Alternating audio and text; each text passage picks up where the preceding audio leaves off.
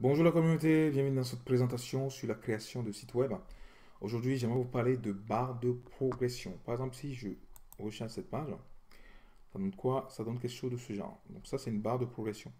Comment est-ce que vous mettez ça en place sur votre site internet? Et c'est de, cela qu'on va parler aujourd'hui. Pour rappel, nous travaillons avec la plateforme, nous travaillons avec l'outil Cheetah hein, de la plateforme Bidroll. Alors, nous allons sur notre éditeur web et notre euh, barre de progression ici, je vais supprimer cette barre de progression, je la supprime, bam, je reviens là.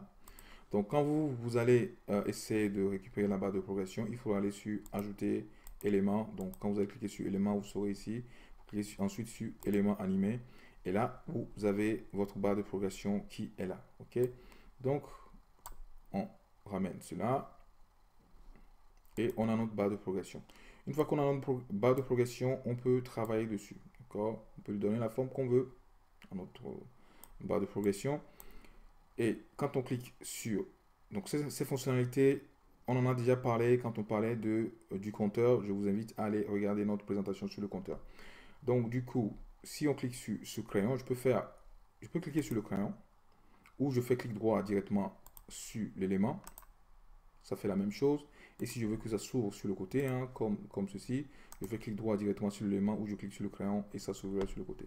Donc ici, nous avons la version, euh, la largeur maximale de tablette. Par défaut, on le laisse comme tel, on, on y touche que quand on en a réellement besoin. Ok?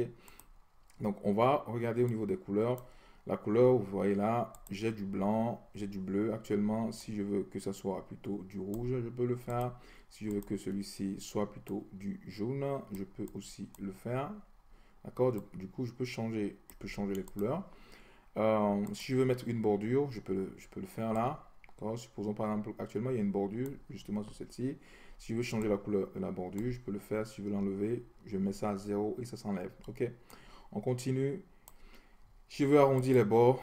Actuellement, c'est déjà arrondi. Supposons que je ne veux plus que ce soit arrondi. Je veux que tout soit carré. Je peux enlever les arrondis. Hein. et j'ai quelque chose de carré. OK? Euh, Les textes. Bon, il n'y a pas de texte dessus. Et pour des raisons que j'ignore, on ne peut pas ajouter, rajouter du texte. Ils n'ont pas mis les fonctionnalités pour que les textes s'affichent. Je ne sais pas pourquoi, mais bon, pour le moment, c'est comme ça. Si vous voulez que les textes s'affichent, euh, ce que vous pouvez faire, euh, c'est de, de rajouter le texte vous-même euh, sur le côté. D'accord? Euh, C'est ce que vous pouvez faire. pour l'heure, je pense que peut-être qu'à un moment donné, ils vont faire des mises à jour, mais pour l'heure, c'est comme ceci. mais en revanche, ça, je peux décider d'où ça part. Si je veux que ça parte de 20 et aller à 80, je peux le faire. Ok, je peux le faire.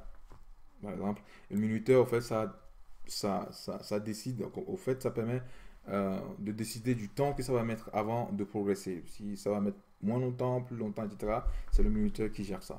Je veux rajouter un peu d'ombre dessus, je peux le faire, d'accord Là, par exemple, je peux mettre un peu d'ombre dessus. Pour le moment, on ne le voit pas, mais on va aller regarder au niveau de la couleur. Actuellement, c'est transparent, c'est pour qu'on ne voit rien. Donc, si je veux mettre de l'ombre, je peux me le permettre, je peux mettre de l'ombre dessus. Je veux enlever l'ombre, il suffit que je clique sur nettoyer et c'est parti. La balise, on n'en parle pas parce que c'est une fonctionnalité avancée, c'est pour la traçabilité.